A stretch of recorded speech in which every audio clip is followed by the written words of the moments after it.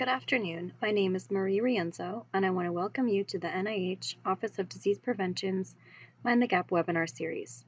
This series explores research design, measurement, intervention, data analysis, and other methods of interest to prevention science. Our goal is to engage the prevention research community in thought provoking discussions to promote the use of the best available methods and to support the development of better methods. Before we begin, I have some housekeeping items. You can submit questions during the webinar by clicking on the question mark in the WebEx toolbar. Please direct your questions to all panelists.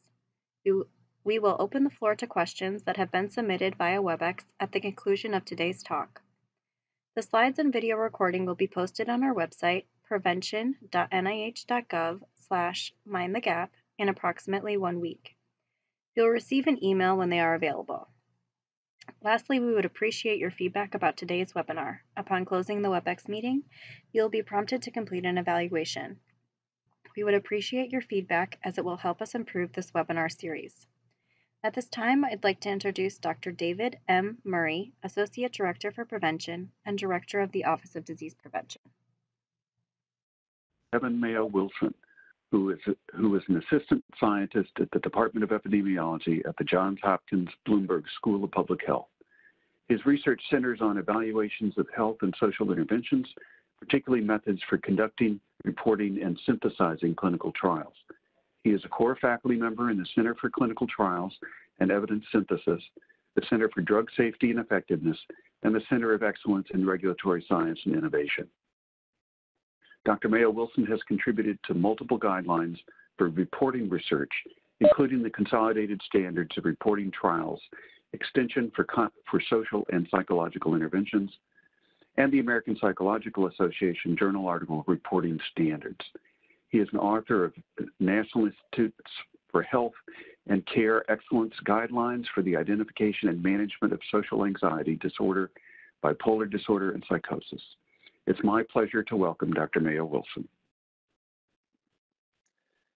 Thank you very much for having me today. Um, I've been asked to talk about challenges associated with multiple outcome definitions in clinical research.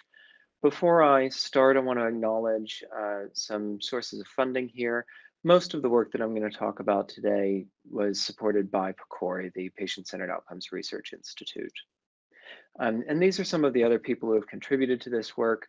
Uh, Kay Dickersin was the principal investigator on the MUDS study, and as you can see, uh, and I think you'll understand as we get into today's talk, a, a whole lot of people contributed to it. So today what I want to talk about uh, is some of the history behind concerns about multiple outcome definitions and multiple analyses, which people commonly refer to as multiplicity. I want to talk specifically today about the evidence of multiplicity in clinical trials and some of the implications that that has for how we conduct and understand research. And then I want to touch on a few ways that we might address multiplicity in clinical research. So people have been talking a lot, both in the scientific community and in the popular press recently, about a replication crisis, about the trouble that we've had lately reproducing the results of uh, clinical research and other types of health research. And you may be aware of some of the controversy that's come out of Cornell uh, that's been associated with some questionable research practices and what people see as salami slicing of data until uh, the researchers got statistically significant and publishable research uh, results. But these concerns have been uh, around not just in, in that case, but in the broader kind of psychological and, and scientific community. This is a slide from the uh, replication project, which was led by Brian Nosek and the Center for Open Science. And what they did here was they tried to reproduce the results of 100 psychological experiments. And what you can see in this figure are the uh, results from the original uh, studies on the uh, x-axis and the results from the replications on the y-axis. And you can see that most of the results fall uh, below this uh, diagonal line, which is to say that the effect sizes in the replication studies were smaller than the uh, effect sizes in the original studies. And on the top and the sides here, you can see the distribution of the uh, p-values from the original and from the replication studies.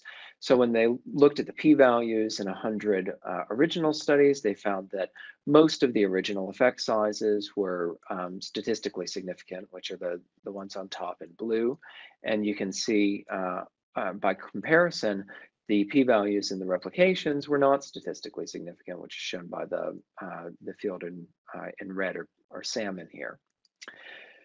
I think that this is probably happening because uh, there are a lot of effects that are actually estimated in these studies and that only a small number of them are being published. So Steve Goodman and colleagues wrote this piece in uh, uh, Science Translational Medicine a couple years ago now, where they identified a number of different features of research reproducibility.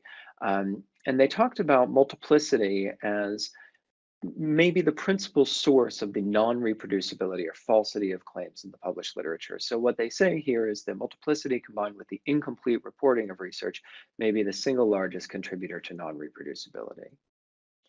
But this is an idea that's been around for a long time. Uh, Theodore Sterling wrote in 1959 that publication decisions might be influenced by uh, inferences drawn from tests of significance.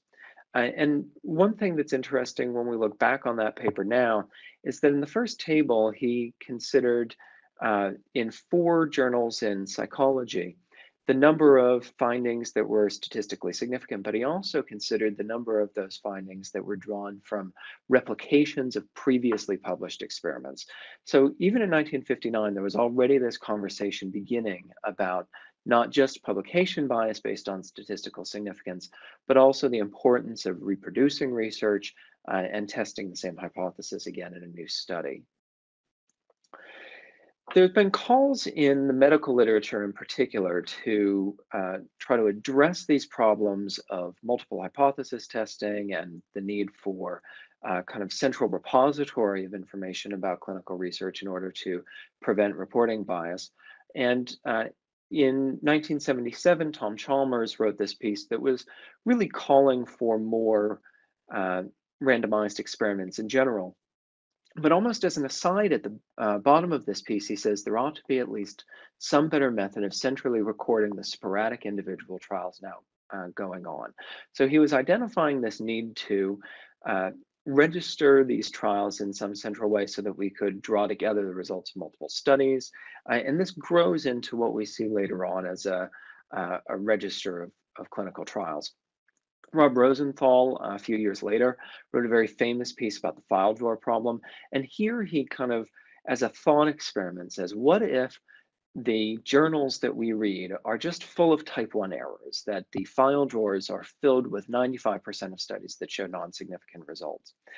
And I think that uh, most of us today believe that that's not the case, that we are somewhere between having all true positives in medical journals and, and other kinds of uh, scientific journals and having a lot of type 1 errors. But the question really is where on that continuum uh, we are at the moment. There were formal calls in the 1980s based on these sorts of concerns about publication bias for trial registers. So developing on this idea that uh, Tom Chalmers floated in the 70s, we should have some central way of registering clinical trials. And uh, of course, it was uh, another 15 years before we had a mandate for clinical trial registration and, and a system for doing that by way of clinicaltrials.gov. Uh, not much later than that, people were talking not just about the selective publication of entire trials, but about the selective publication of results from individual trials. Uh, and in this piece in 1993, Mills says that uh, if you torture your data long enough, they'll tell you whatever you want to hear. So we, we get this idea that if we conduct many tests within an individual study, we can get a lot of different results. And that becomes a, a kind of central theme going forward. In the late 90s, Kerr writes a very famous piece on hypothesizing after the results are known or harking, and he outlines a lot of the concerns that we have today about reproducibility and about what people now refer to uh, very commonly as p-hacking. A really seminal piece in the history and the evolution of these uh, concerns about multiple hypothesis testing and multiple outcomes is this piece by An-Wen Chan. Uh, he and, and colleagues showed that a cohort of studies followed through from inception to publication demonstrated a number of different kinds of reporting bias. So they showed not only that trials that had statistically significant outcomes were more likely to be published than trials that didn't have statistically significant out outcomes, they also found that the outcomes from trials with significant results were more likely to be published than the uh, outcomes that had non-significant results. And they found that in about a third of the trials, a quarter or a third of the trials, there were changes in what people described as the primary outcomes. So uh, secondary outcomes were promoted to primary outcomes in publications, primary outcomes were demoted to secondary outcomes, and there were changes in the way that people described those outcomes. And you might think that given all of these concerns that we've had about the consequences of focusing on statistical significance, that we might be less and less focused on statistical significance over time. But in fact, the opposite is uh, appears to be true. If we look at the results of randomized trials that are reported in uh, Medline over time, it looks like more and more of those abstracts report at least uh, one p-value. So uh, we're, we're, getting more and more uh, focused on the statistical significance of results, despite these problems that we have with reporting and interpreting evidence based on uh, the results of null hypothesis testing. An additional layer of complexity in this is that there are a lot of different sources about the results of uh, clinical trials, as well as other types of studies, of course. So we know that in a published clinical trial, there might be short reports like letters and conference abstracts about that trial. There might be journal articles. There might be a trial registration on clinicaltrials.gov or another registry. Uh, and there might be information from regulators like FDA that becomes publicly available. But there are also a lot of un uh, unpublished or non-public data sources. So we might have unpublished manuscripts, we might have individual patient data, grant proposals, other types of study protocols and case report forms where people have actually jotted down the results for individual patients. Uh, and we might have memos and emails between investigators about the conduct of the study. And so you can get different results when you look at what's actually published and what's unpublished. And that's where a lot of the concerns about publication bias and selective outcome reporting have come from, are these comparisons of what's in the public domain versus what's in the uh, unpublished or, or non-public data sources. Vedula and uh, colleagues here did a bit of work on uh, gabapentin, which was published in the New England Journal of Medicine in 2009, in which they compared what was in public data sources about trials of gabapentin for a variety of conditions versus what was in uh, non-public data sources. And in this figure, you can see in red the primary outcomes uh, in unpublished research, and in blue, the uh, primary outcomes in published uh, research. And we have here the results from uh, a number of different trials. So somewhat unsurprisingly, if we look at the right panel here, in the unpublished research, there were uh, results that were not statistically significant. But what's interesting uh, here is that for the uh, trials that were published in journal articles, we have a mix of primary outcomes that are uh, uh, not statistically significant in red, uh, but we also have p-values for primary outcomes in blue here that appear to be statistically significant. And sometimes they contradict the p-value for the, uh, the same trial, which is in a non-public data source. So how is this happening? Uh, in these trials, there were 21 primary outcomes in protocols for 12 published trials, uh, but only 11 of those are published with no changes. Uh, and in the publications, 12 new primary outcomes were introduced, leading to a total of 28 primary outcomes in publications, only 11 of which matched the primary outcomes that were in the non-public data sources. But of course, you can't just change the outcomes wholesale. You can't say that you're going to do a study in pain and then decide that it's really going to be a study about depression. So uh, we looked in, uh, in some more recent research at how people defined outcomes in multiple ways and the opportunities for changing the outcome definitions in the, the publications. So today, when you register a trial on clinicaltrials.gov, you have to use this framework that Deb Zarin and colleagues described here.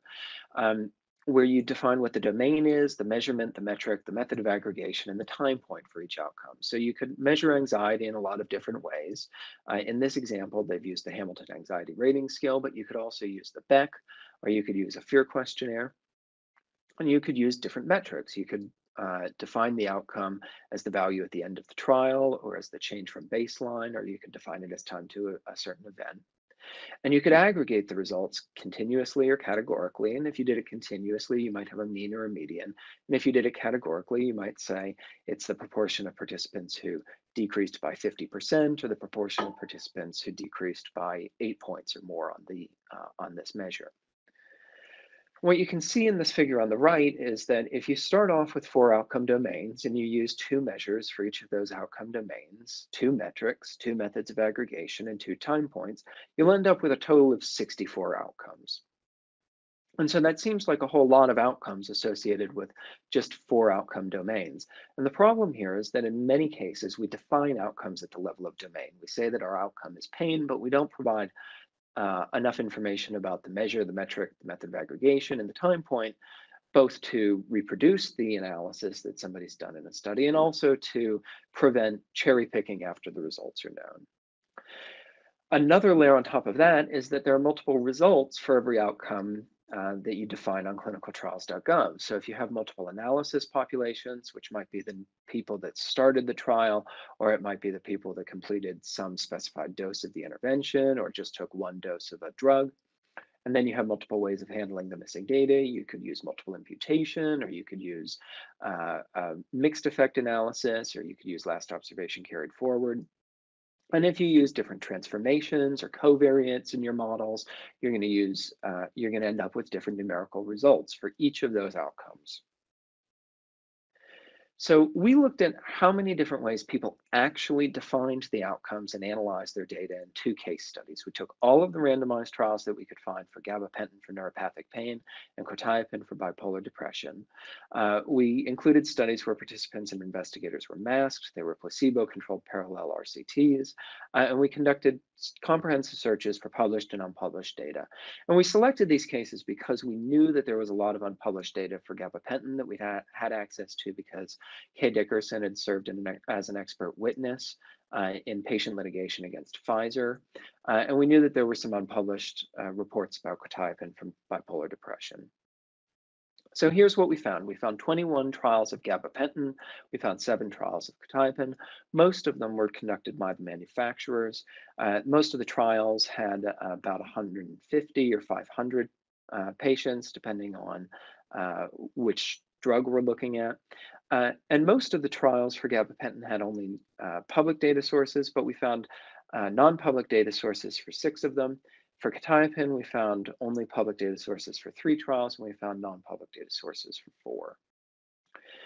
And I'm going to focus here just on the gabapentin case study, but the results are more or less the same for the uh, quetiapine case study.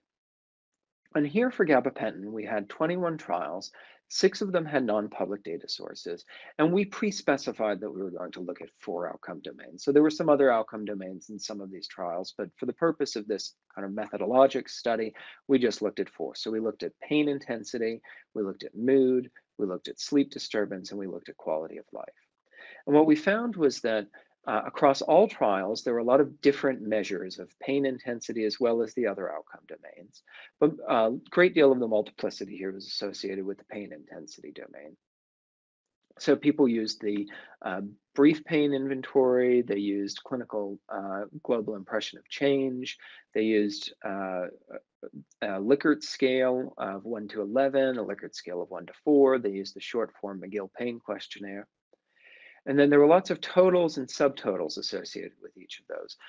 So for example, if you defined the outcome as the uh, quality of life measured using the short form 36, the uh, SF36 has eight subscales for uh, general health, mental health, physical, uh, and role functioning.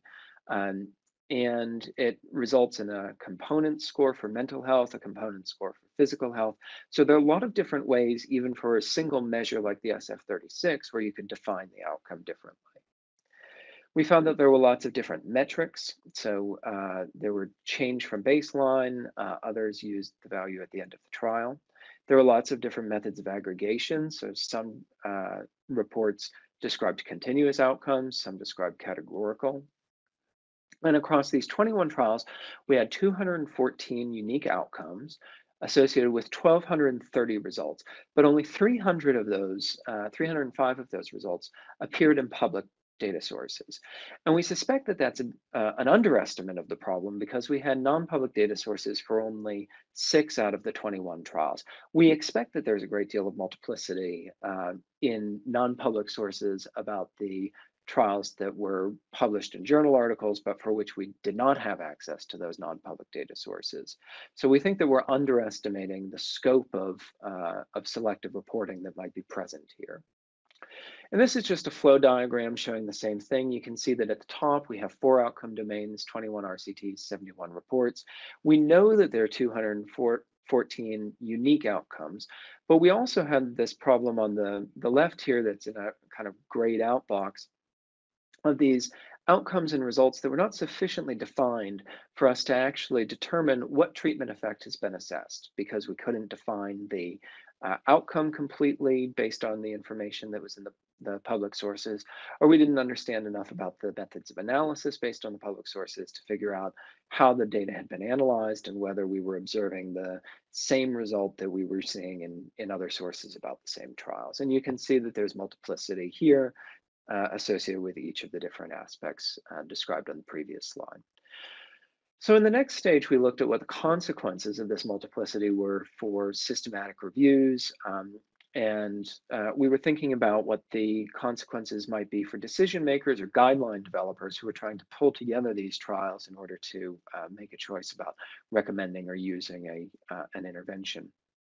So across all of the different data sources at the top of this figure on the left, we created a, uh, a distribution of the meta-analyses that you could conduct just for this pain intensity domain, which was the primary outcome domain.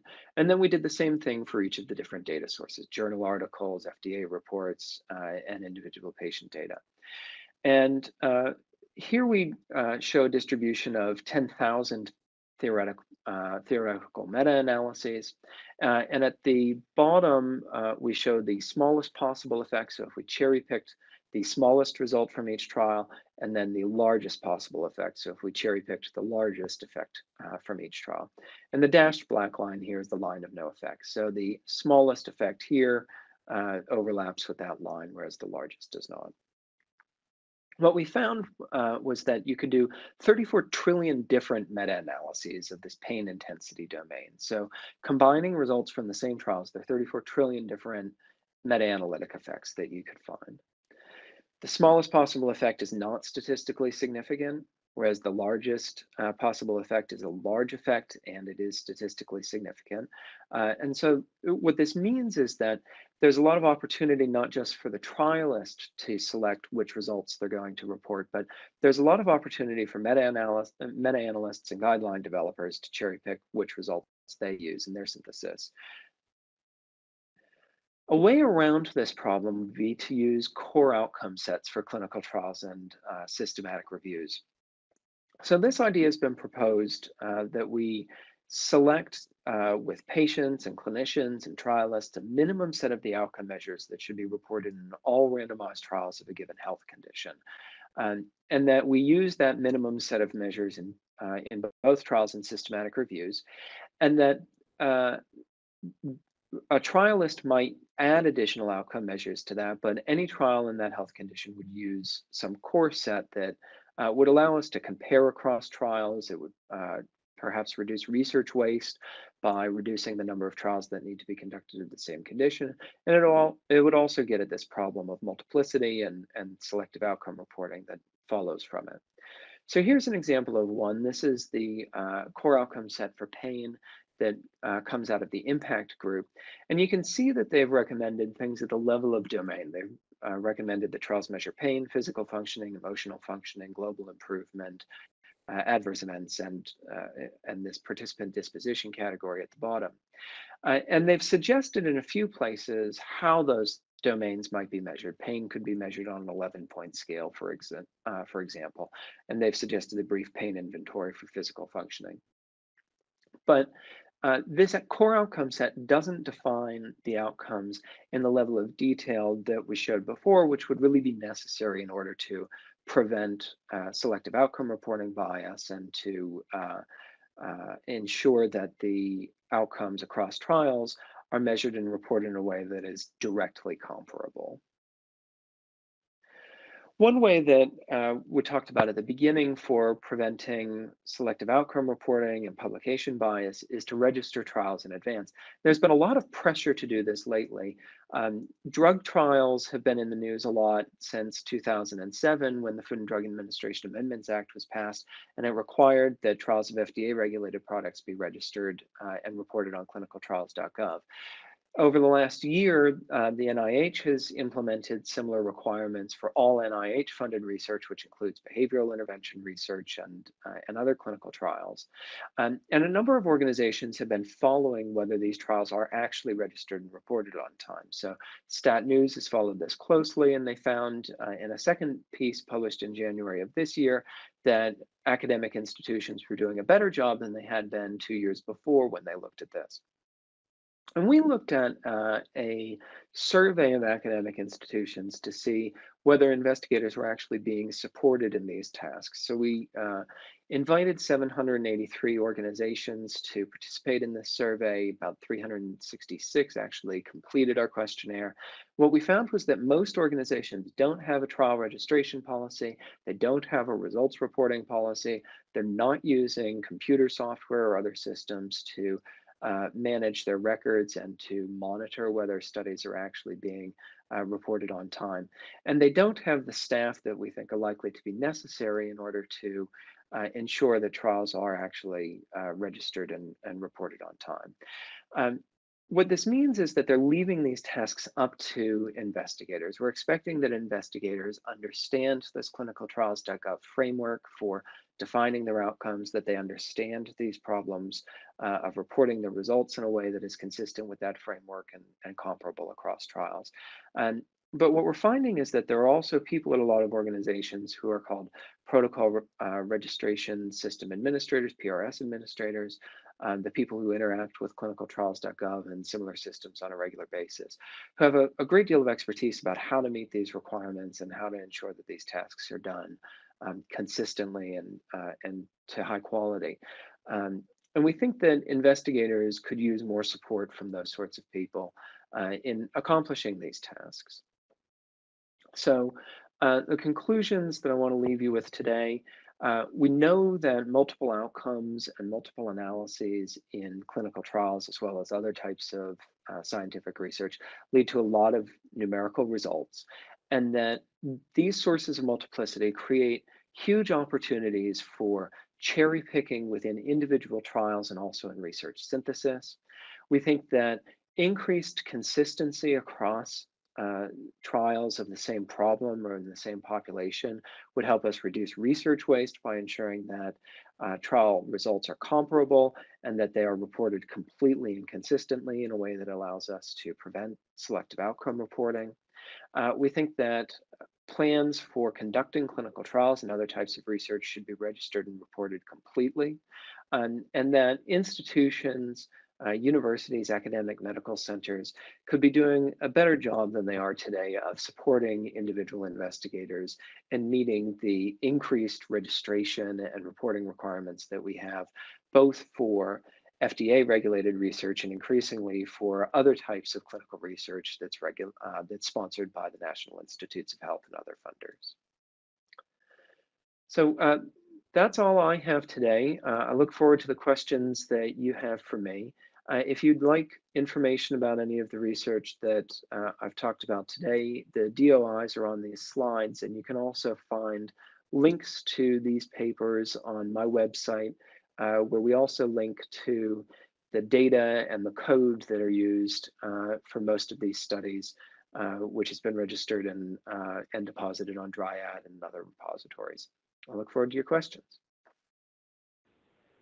Uh, thank you um, very much for that presentation. Uh, very interesting and thought-provoking.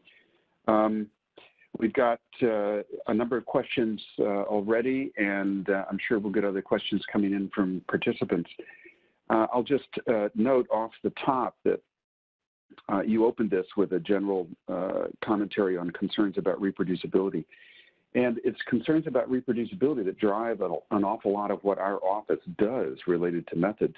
We, we sponsor this Methods Mind the Gap webinar to bring state-of-the-art methods to the attention of uh, our investigator community in, in, hopes that they will use them and that that will uh, help improve the situation in terms of rigor and reproducibility.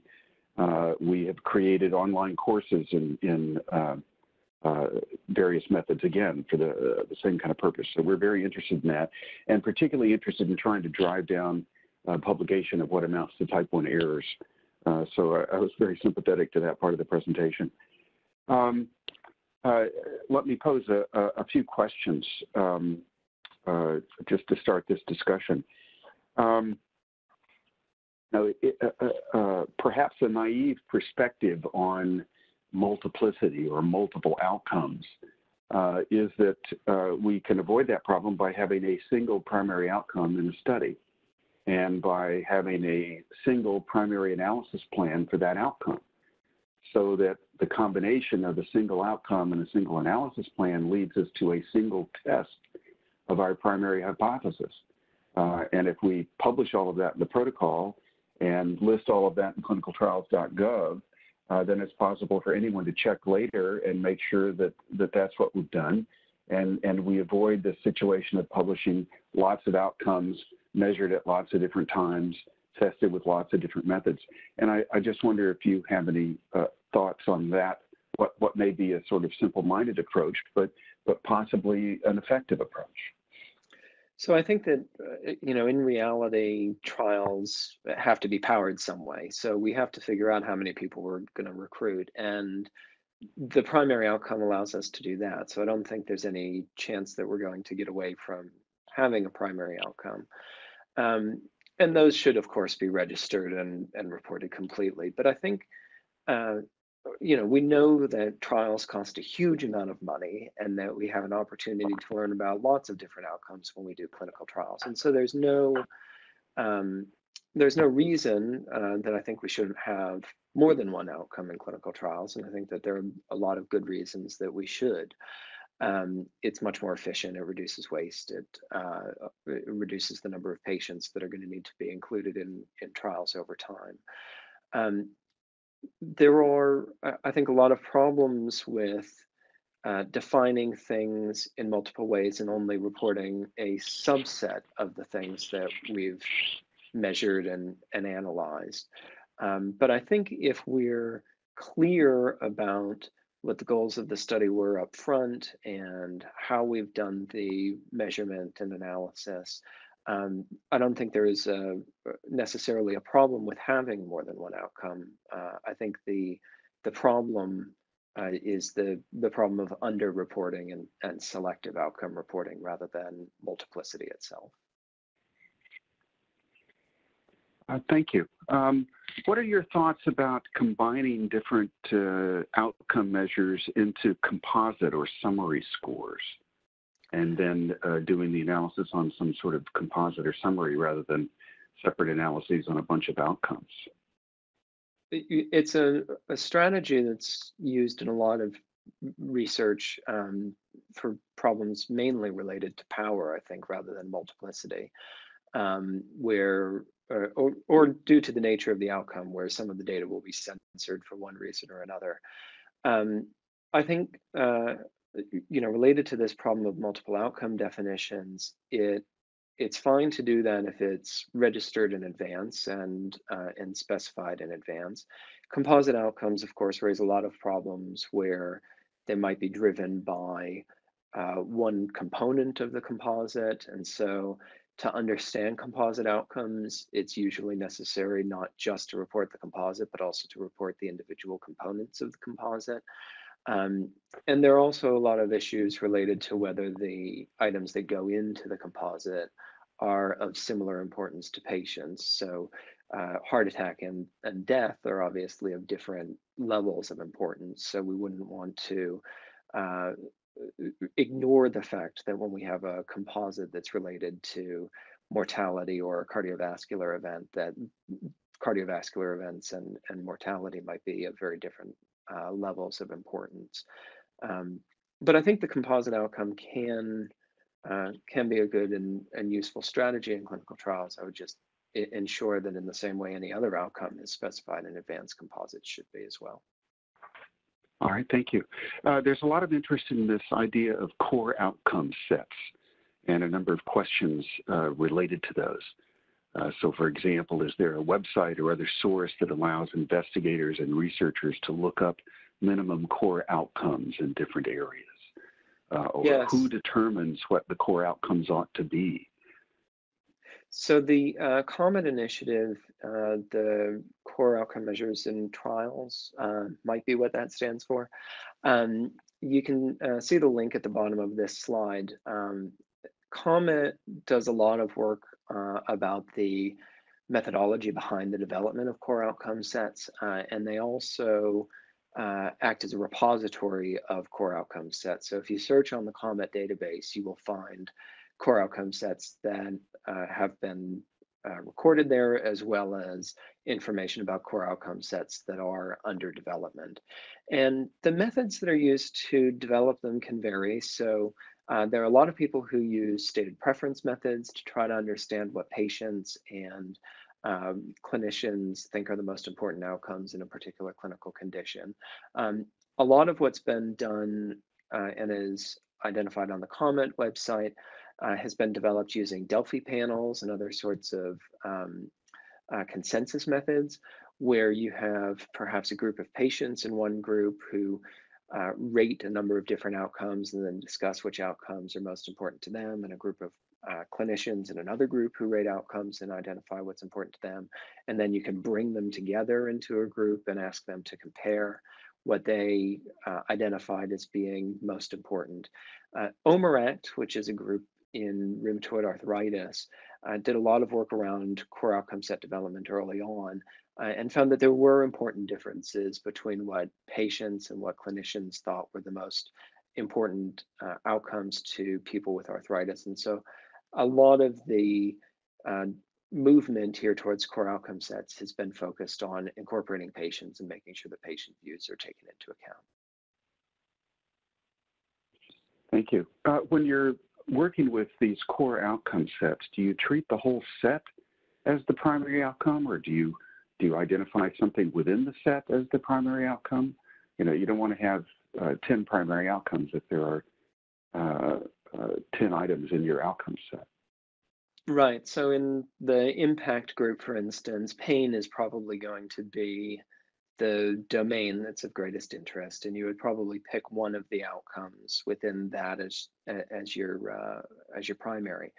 Um, but the the idea is less about which you identify as primary and more about uh, making sure that all of these outcomes are actually measure, measured so that we can compare the results uh, in two different trials of the same condition and that we capture the information about the outcomes that are most important to patients so that if you've done a trial of an intervention for pain and you've measured pain and emotional functioning, you've also measured physical functioning so that we don't have to go back and do another trial to get information about physical functioning. Um, it's a question about the role that journals uh, may have to play in uh, ensuring that uh, all primary outcomes are reported. Um, so let's say uh, an investigator uh, registers their primary outcomes on clinicaltrials.gov, um, and then some of those uh, turn out to be positive in terms of an effect, and some of them turn out to be uh, no effect, uh, possibly some of them even negative. Should journals somehow be required to report all of those outcomes that were registered in, in clinicaltrials.gov, or I can't imagine how that would be done, but is there some obligation for the journal to uh, address the collection of primary outcomes rather than saying, oh, we're only going to publish the, the ones that have a, a, a favorable p-value? Yeah, I think that um, journals are partly addressing this by just having the requirement that trials be registered, um, because I think peer reviewers and editors um, uh, kind of naturally ask people to report all of the information about the primary and secondary outcomes. um, which is to say, you know, journals want to publish trials that are going to have high impact and draw a lot of attention, um, but they uh, they don't want to publish necessarily unbalanced uh, interpretations of those trials. And I think editors and peer reviewers realize that if you're only selectively reporting the outcomes from within a trial, that that's not a balanced and honest um, uh, interpretation of the results. Uh, NIH has also helped a lot with this problem in requiring that the results of clinical trials be posted on clinicaltrials.gov. So um, I, I, think a lot of the discussion in this area has focused on the role of journals, but um, journals have said, you know, repeatedly throughout these discussions over decades now that they're not the, the only stakeholder in this uh, environment. And so NIH stepping in and saying that those results have to be reported a year after the completion of the trial on clinicaltrials.gov means that that information is available somewhere, even if the journal doesn't publish all of the primary and secondary outcomes. But I, I think it would be standard practice in most um, kind of leading journals that uh, your table with the results would include the primary and secondary outcomes. Uh, is clinicaltrials.gov doing a good enough job? Um, if if you had the opportunity to speak to the folks in charge, what advice would you give them in terms of how to improve the way that clinicaltrials.gov uh, is organized or what information it collects or presents so that it could do an even better job? So uh, it's a great question, and I think that there are um, kind of two ways of answering that. One is that the main group that is not doing a good job is us. So uh, for trials of FDA regulated products, which are many of which are conducted by drug manufacturers and device manufacturers, the registration and reporting rates today for most major manufacturers are near perfect. Um, major companies have understood what the compliance requirements are and have hired staff and developed systems for ensuring that their trials are in compliance with the new rules. Now, historically, of course, that wasn't true, but um, today most major companies are, are taking these issues seriously and doing a very good job of compliance. Non-compliance is actually occurring at a much higher rate uh, in academia than it is in industry. Um, and so we as investigators, as department chairs, as deans, whatever, um, are not doing a very good job of setting up systems where trials get registered and their results get reported. Um, so that that's the first answer to the question is that I think a lot of the problem is with us and with the systems that we have for for accomplishing what we're supposed to accomplish on clinicaltrials.gov.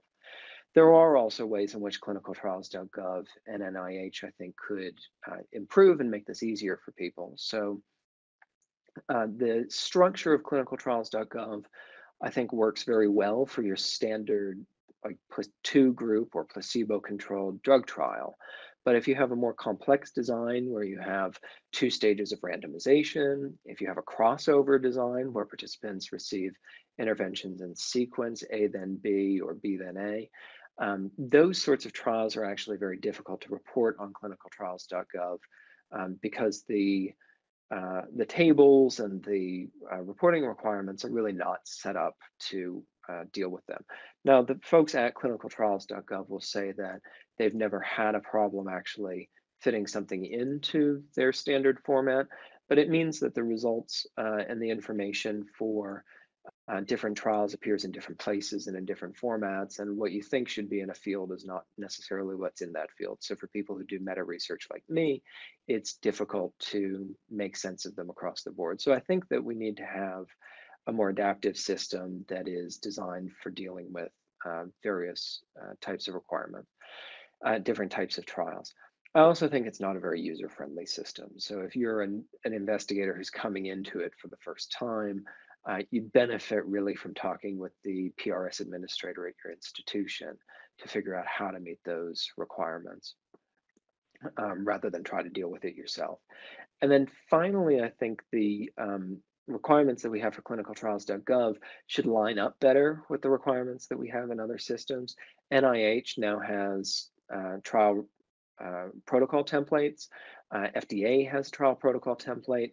The data elements that we have in those templates, the data elements that we require for IRBs, uh, the data elements that we require when we submit manuscripts to journals. I think all of those things should be lined up uh, and better coordinated. And when we require that people submit to NIH a trial protocol that has different information from a trial registration, people might look like they're doing things inconsistently, even if they aren't, just because the information or the structure of the information is different.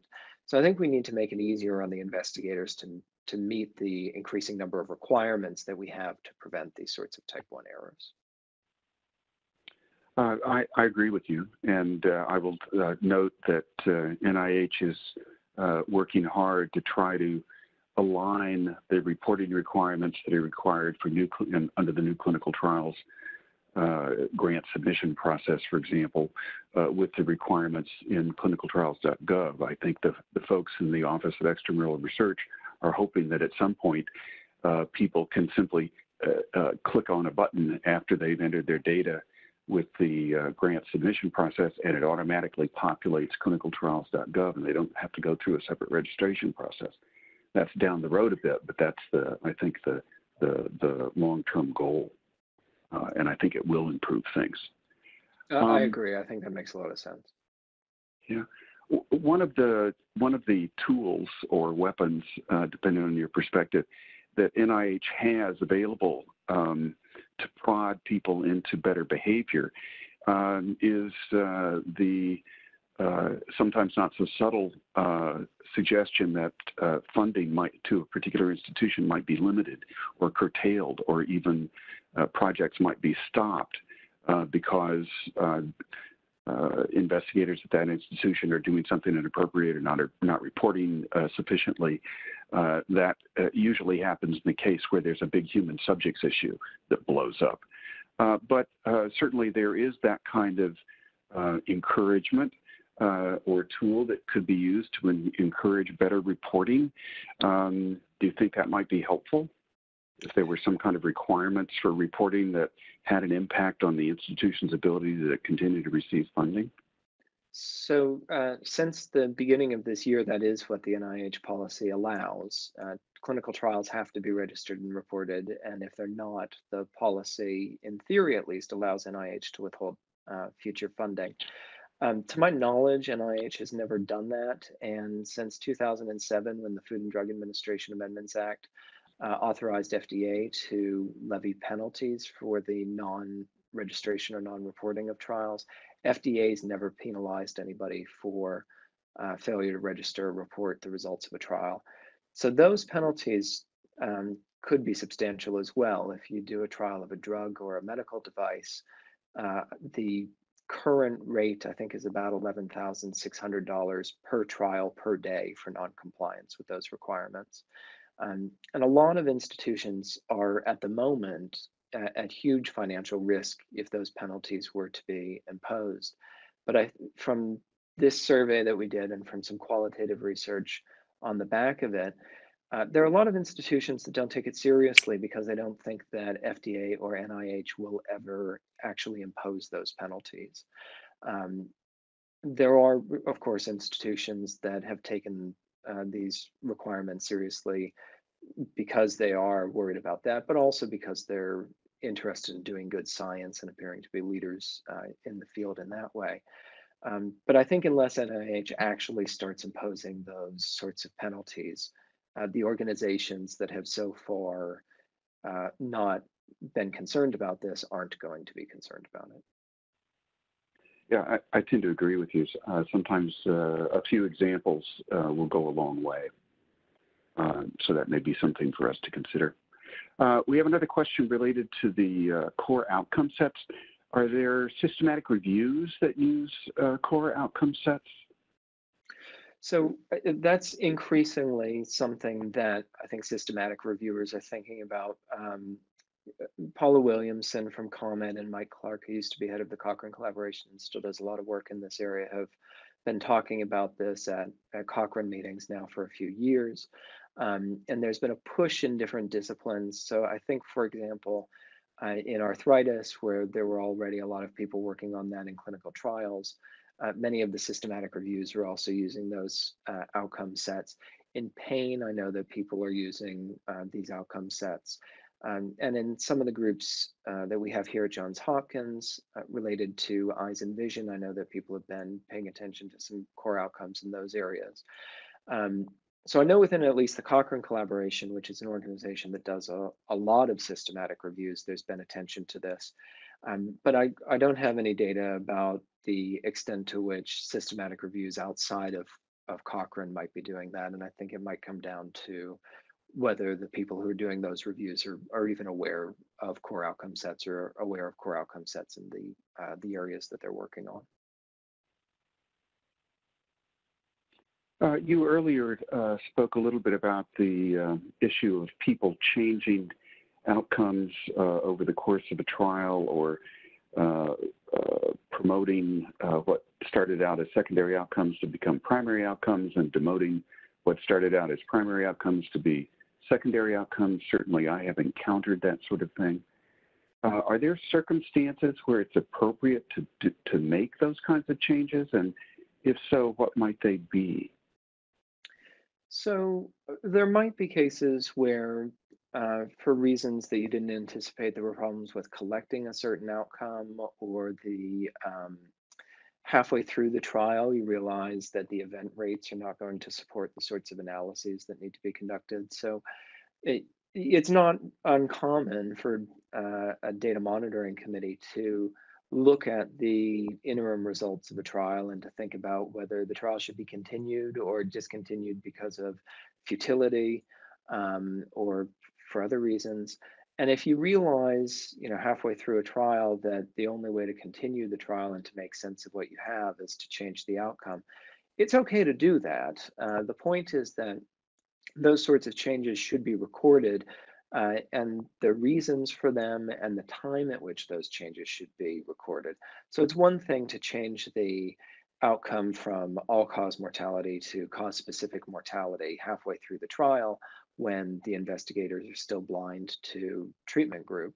It is, I think, a different matter to have analyzed the data, um, to have figured out what the results were, and then to have changed the primary outcome. So the reasons for changing the outcome and the time at which the outcome is changed, I think, are, are important things that should be recorded.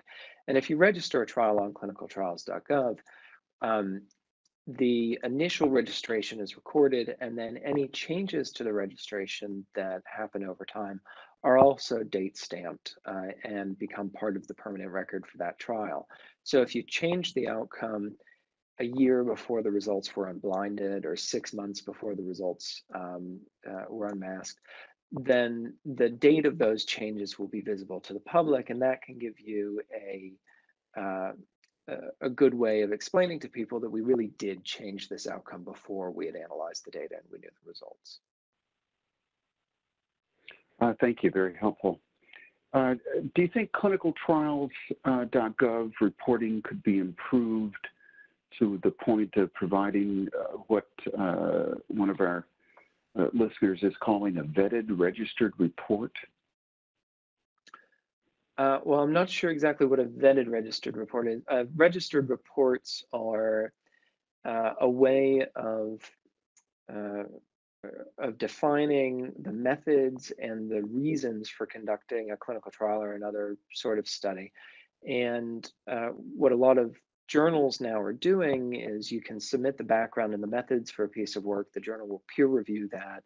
And then the uh, journal is committing to publish the results of that study uh, without respect to the results. So they've agreed in advance that it's a study worth doing and they'll publish the results uh, independent of the results. Um, clinicaltrials.gov is a place for registering, obviously, all clinical trials, but it is not uh, vetted in any way by the National Library of Medicine or, or FDA. Uh, the only vetting that's happening there is to ensure that the required data elements are present. So if you're doing a clinical trial, you need to register the domain, the measure, uh, and, the time point for each outcome. in advance. And if that information isn't present, they'll send the record back and say that you need to add that information. But they're not otherwise in a position to say this is a study worth doing. It's their uh, their duty really to register all of the studies that are being conducted, whether or not the people at the National Library of Medicine happen to think it's a good piece of research.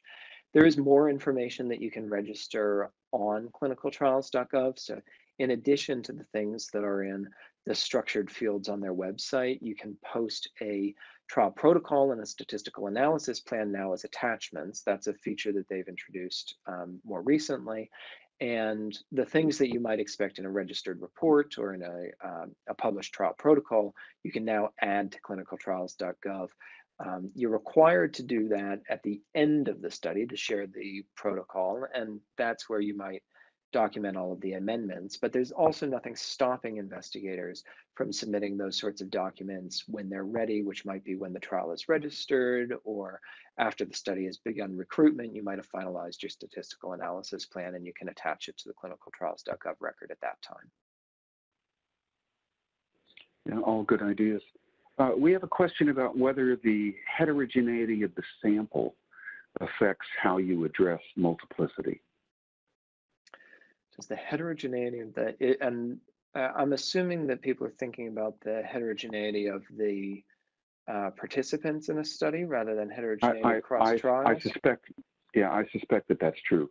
One of the challenges in uh, in reflecting to you questions from our audience is that I don't get to follow up with the person who asked yes. the question and ask them to clarify it. So um, so the, this is this is this is a question about heterogeneity of the sample. I presume participants.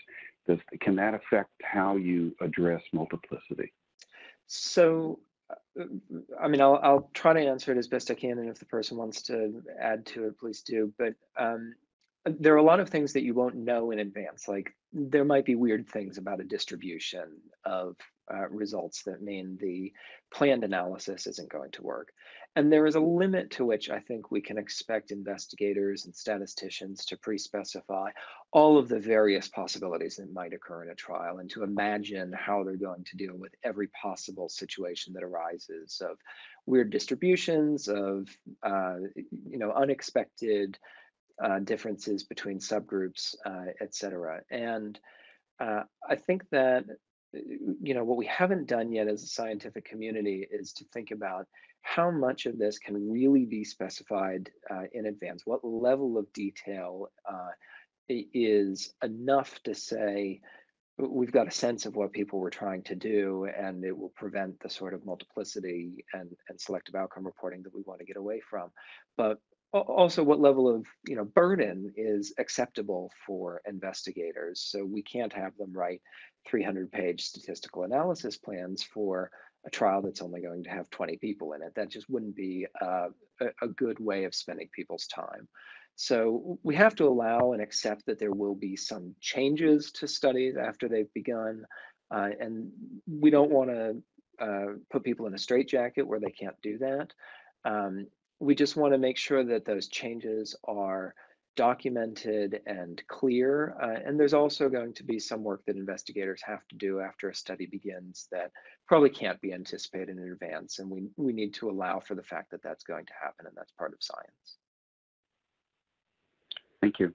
Uh, one last question before we close. Uh, can you give examples of um, universities or uh, other academic organizations who have uh, made an effort to change the sort of incentives that uh, encourage good behaviors uh, in in the form of reporting and so forth.